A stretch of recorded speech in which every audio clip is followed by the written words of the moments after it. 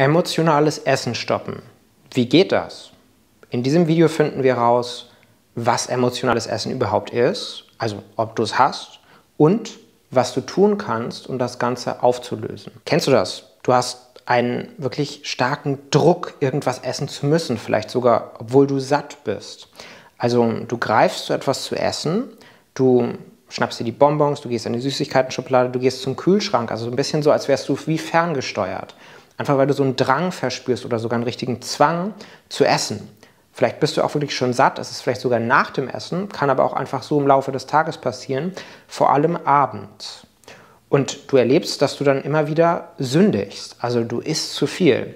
Du hast ein schlechtes Gewissen danach, vielleicht schämst du dich, du fühlst dich einfach nur schlecht. Und obwohl es sich so schlecht anfühlt, kannst du irgendwie einfach nicht damit aufhören. Aber was wäre jetzt, wenn du dich beim Essen stattdessen wirklich frei fühlen könntest und sicher wärst, dass sowas nicht mehr auftreten könnte? Hinter diesem Essverhalten, hinter diesem Essen, diesem ferngesteuerten Essen, steckt oft emotionales Essen. Also Essen aus emotionalen Gründen, weil wir gefrustet sind, weil wir gestresst sind, weil wir Angst haben, manchmal auch, weil wir uns freuen. Also wir essen aus allen möglichen Gründen. Wir wollen eigentlich damit aufhören, aber können es einfach nicht lassen.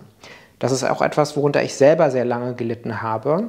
Deswegen ähm, kann ich sehr gut verstehen, wie hilflos und vor allem auch beschämend sich sowas anfühlen kann. Das Ganze kannst du aber loswerden, wenn du die Ursachen dahinter verstehst und dann einen neuen Weg findest, das Ganze aufzulösen. Um die Ursache zu finden für dieses Verhalten, ist es wichtig, sich einfach mal ganz genau alle drei Bereiche anzuschauen. Also, was körperlich los ist, was im Kopf los ist und was im Alltag der Situation und in der Umgebung los ist. Und dann kannst du schon direkt einordnen, ist es denn jetzt emotionales Essen oder ist es etwas anderes? Also, körperlich, ganz simpel, hast du körperlichen Hunger, also knurrt dir wirklich der Magen, hast du vielleicht Kopfschmerzen, da gibt es eine Reihe von Punkten, an denen du erkennst, dass du wirklich körperlich hungrig bist. Vielleicht nimmst du es auch nicht als Hunger wahr, aber wenn du nach dem Essen, also wenn du wirklich eine vernünftige Mahlzeit gegessen hast, darauf geachtet hast, dass alles dabei ist, was nötig ist für eine körperliche Sättigung, wie zum Beispiel Gemüse und Eiweiß ähm, oder Fett, und dann trotzdem noch diese Essepisoden erlebst, dann weißt du ja schon mal, es kann nicht an körperlichem Hunger liegen. Die einzige Ausnahme hier wäre vielleicht, wenn du wirklich über Wochen und Monate Diät gehalten hast, weil dann staut sich auch so ein gewisser Hunger im Körper auf. Der Körper wehrt sich gegen die Abnahme.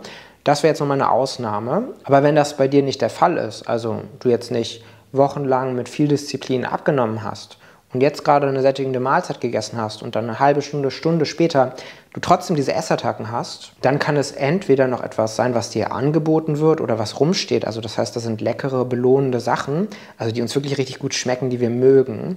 Ähm, und die werden uns entweder angeboten oder die haben wir überall in der Wohnung oder im Ort, wo du dich gerade aufhältst, einfach rumliegen dann greifst du ja auch zu.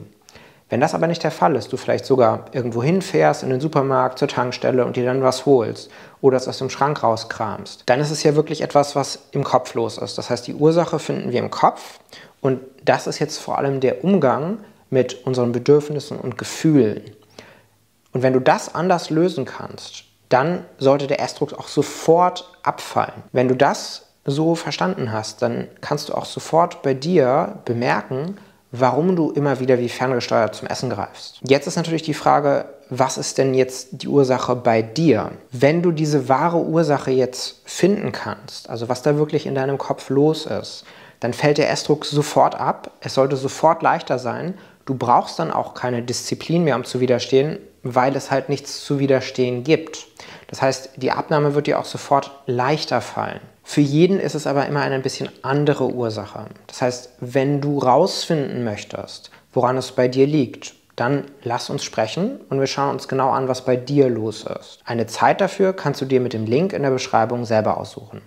Ich bin gespannt darauf, dich kennenzulernen.